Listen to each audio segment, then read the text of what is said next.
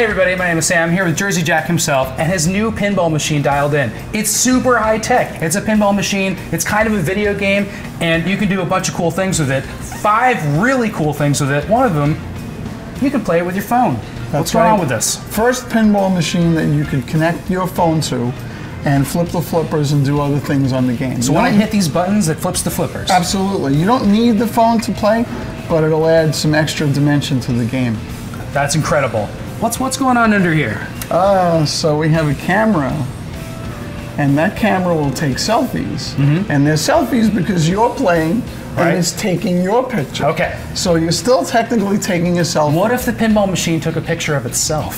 That would be cool. Yeah, we gotta get mirror. that. We'll try that. We'll work on that. But they are getting pretty smart. And the other so- thing you can do with the phone is uh, there's part in here where you get a lottery ticket Mm-hmm. and you get to wave at the camera and it scratches off the lottery ticket too. That's very wacky. So I was playing this and didn't realize what was going on there. So now I know. Uh, there's also a couple other screens. One of them is like basically this hologram, the quantum reality theater. What's going on in there? So um, this is like a virtual uh, reality theater, and you'll see a spinner in there. You'll see inline drop targets. You'll see spider, other things that you have to shoot the theater. Um, So you'll see a spider, you shoot the ball in there, and it blows up. Yeah.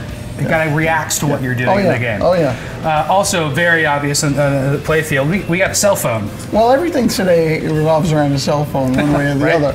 So we have one on this game, Mm-hmm. and um, you're shooting in there, and you're going to battle against Quantum City being attacked. Different things happen, whether it's sinkholes or it's acid rain, other events that happen, disasters that you're going to help prevent, or you might help cause. So you're, what you're describing to me is very video game-like, right? It, uh, there's this game called Sim City where all these bad things happen to a city. In this game, you're trying to kind of either prevent those bad things or sometimes cause them, Right. and uh, you'll get emergency calls on that phone. That's Uh, right. And then finally, the thing I like uh, the most, perhaps, is that uh, there's this cool laser beam that shoots your flippers, and the flippers go dead. I love that. Right.